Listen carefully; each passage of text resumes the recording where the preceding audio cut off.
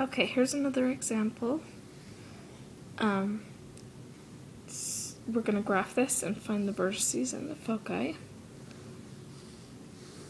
So let's start by looking at these numbers. Since this one is smaller and this one's larger, this one would be a squared and this one would be b squared. So that means b is the x direction and a is the y direction, so this ellipse will be tall and skinny. So the square root of 1 is 1. That's b. The square root of 16 is 4. So that's a. So on our graph, we're going to go the y, notice the y above the 16. So the y direction a, 1, 2, 3, 4. There's one vertex at 0, comma 4.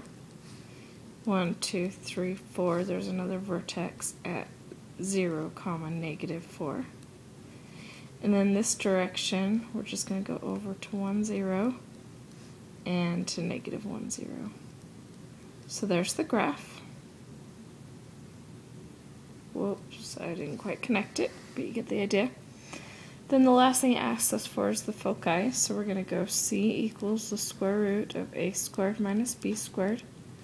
So that's the square root of 16 minus 1, or the square root of 15, which is almost 4.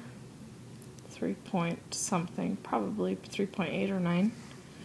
So because this is so skinny, the foci are going to be very close to the vertices.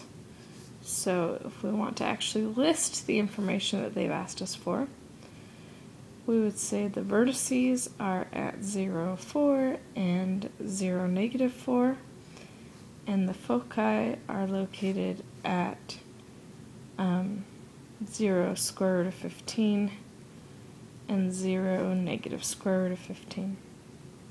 Done.